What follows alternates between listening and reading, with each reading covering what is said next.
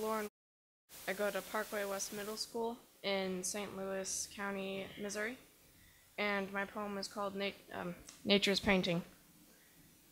Nature is a beautiful sequence of life and death, a source of creation. It's stunning to see the bigger picture, the wondrous, detailed painting of the forest struggles and triumphs.